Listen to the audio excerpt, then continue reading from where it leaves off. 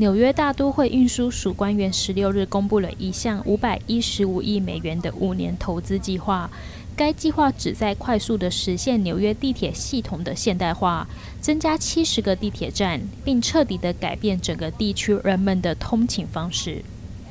据悉，在这笔基金中，大约有四百亿美元将用于纽约市交通改善，其中的三百七十三亿美元将用于地铁的项目。交通官员表示，这一建设的计划将导致纽约地铁部分地区夜间和周末的服务延长关闭时间，但做出这样的牺牲是值得的。大都会运输署基建部负责人利贝尔说：“运输署计划在地铁六段线路上增加现代化信号系统。”再加上地铁 L 线和七号线的新信号系统，该市约一半的乘客的通勤速度将会被加快。这六段的线路分别是位于布朗市第一百四十九街和布鲁克林 Nami Street 之间的四五六号线，位于布鲁克林 J Street Metro Take 和 U Creek 大道之间的 A 和 C 线，位于皇后区的 Demos Barber Road 和曼哈顿五十七街之间的 N 和 W 线。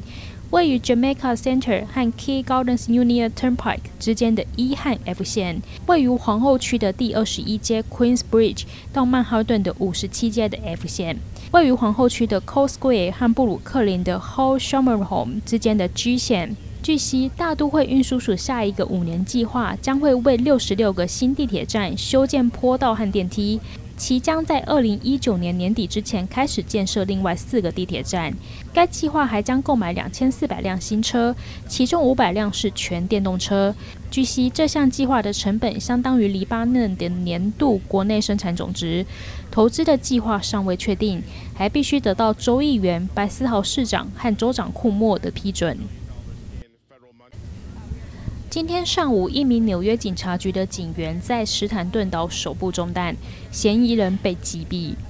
据报道，这起的枪击案件发生在上午八点四十五分左右，地点位于史坦顿岛斯塔普顿区。这名受伤的女警员在王子街二十号被枪击中左手，随后被一辆巡逻车送往李士满大学医学中心，预料伤情无大碍。身份不明的嫌疑男子被实施了心肺复苏术，而后被送往史坦顿岛大学北区医院，在那里被宣布死亡。此次枪击案件引起了警方大规模的反响。纽约市紧急警报发布称，由于警方动员，该道路将会被封锁。史坦顿岛王子街郊哈迪区的地区将会有大量的紧急救援人员，请避开该地区，考虑其他的路线。目前尚不清楚这起事件的具体细节。纽约市长白思豪今天前往医院探视受伤的女警员。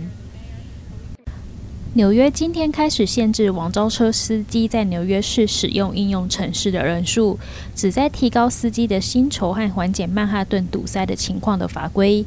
但是 Uber 和 Lyft 抗议表示，这些法规将会产生意想不到的后果。Uber 和 Lyft 两间公司都反对这项前所未有的法规，称这将会阻止司机赚钱，还会导致偏远地区的低收入纽约人无法使用网招车的服务。而这些地区又没有普通的计程车服务，但是纽约市政府没有接受这样的观点。新规限制了网招车的数量上限，还规定了纽约市八万名网招车司机的最低收入水平。纽约市计程车管理委员会 （TLC） 去年实施了多项的法律，地图的改变网招车公司在这个北美最大城市的运营方式。纽约是网招车行业最大的市场之一。TLC 代理专员比尔·海恩泽在声明中为这些法律辩护称，他们的目的是是要让企业承担责任，并阻止 Uber 和 Lyft 以牺牲司机的利益作为代价，导致市场过度的饱和。根据新锡耶纳大学民意调查显示，大多数的纽约人表示他们反对新的州牌照要求。锡耶纳学院的民意调查于九月八日至十二号进行。显示大多数的纽约人不同意纽约州计划要求司机更换超过十年的车牌，百分之六十的受访者反对，只有百分之三十一同意。大多数的州民对于二十五美元的车牌更换费用不满意，有百分之七十五的人认为是不公平的，只有百分之二十三的人认为州府可以收取费用。州长库莫于上月宣布将会举行全州投票，让纽约州的居民选出心目中的新车牌设计。在五个选择中，最终选出的设计是由多个纽约著名的地标的综合体，包括尼亚加拉瀑布、曼哈顿的天际线、自由女神像和灯塔。州议员估计，相关的收入将会为州库房带来两年共七千五百万元的收入。库莫解释，更换车牌的原因是由于为了配合闯红灯的摄影机、无现金收费系统和其他的设备，方便系统拍下违规汽车的车牌数字。可是，即便是民主党人也不能接受州长的说法，指责他刮尽纽约人的一分一毫。但库莫随即反驳指出，收费并不是由他设定，而是在他上任之前的二零零九年就已经由州议会通过。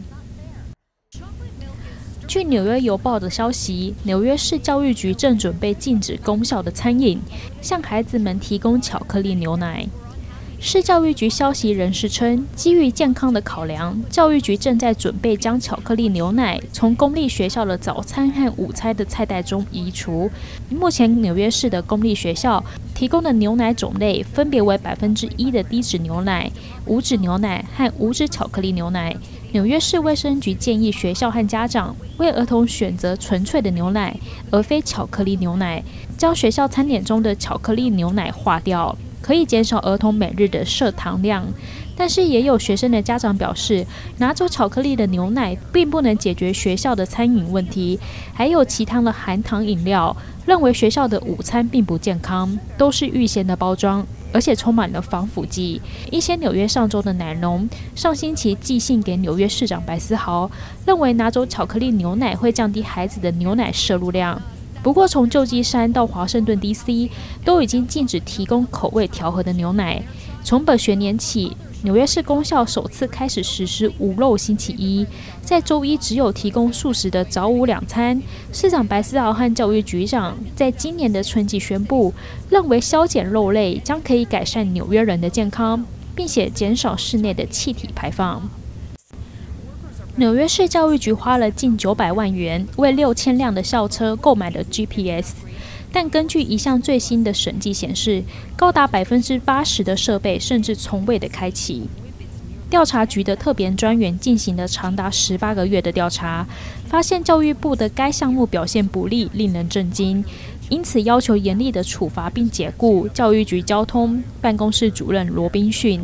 据报道，教育局最初于二零一五年与全球定位系统纳夫曼签订合约，记录特殊教育学生的交通费用，以获得医疗补助。